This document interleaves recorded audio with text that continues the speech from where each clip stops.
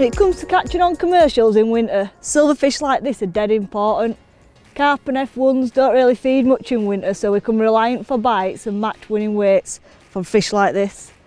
I'm going to give you a few pointers on how to catch silverfish like this this winter.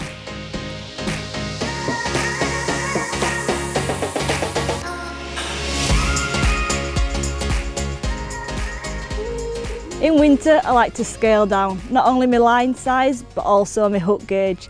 I like to use lighter hooks in winter such as the SFL that I've used all autumn and um, at the beginning of winter. I feel like it's a lot of a lighter hook and not much of a thick gauge so when the fish pick up the hook bait they think it's a free offering and you get a positive bite and a really good hook hold.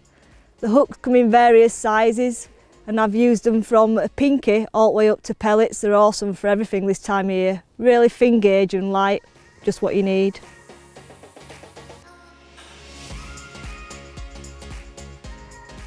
Don't be afraid to pick up your catapult when fishing for silverfish. The fish love the noise and they also like to watch the bait fall through the water column. It can be like instantaneously sometimes, go from not getting bites, pick up the catapult, fire a bit of bait in, start getting bites.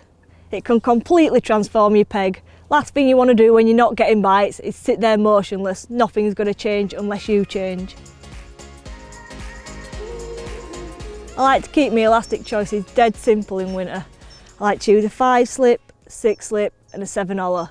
5 slip I'll use on fish up to a pound or so. My 6 slip I'll use on fish up to a couple of pound and my 7 Hollo for bigger fish. All of these are on a puller bung, so if I do hook a bigger fish on them, they're easy enough to get in. I also like to use Dura Slip in winter. Sometimes your elastics can stick when they're cold. A few sprays of that, your elastics will run smooth and you don't have to worry about bumping fish throughout the day as your elastics are stiff and not working properly. This time of year when I'm fishing for silverfish, I like to bring an array of bait with me. Got some fish meal here that I've put a few dead pinkies and maggots in, splash of casters and worms. I like to put that down for skimmers quite long and just flick the odd bit of caster over it. Also got some casters and maggots which roach love this time of year. Actually they'll feed fruit water and even shallow. Um, I've also done some pellets which pro expanders I like to do the night before. Easy as all, tip them in a tub, add water, you don't even need to pump an or anything. So I've got two different styles. I've got a fish meal line which will catch me skimmers and I'll fish pellets over it.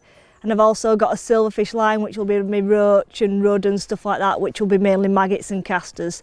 All options covered. You've also got a chance catching carp, F1s and tench over your pellets and fish meal as well. So it covers all options. So there you go, there's some nice tips about catching silverfish in winter. They can be great sport, loads of bites to be had, make sure you don't neglect them.